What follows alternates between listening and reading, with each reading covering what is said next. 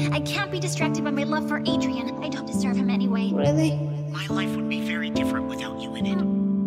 You and me? You and me. It's you and me, remember? Marinette is so special. we'll see about that. kitty cat. I love you.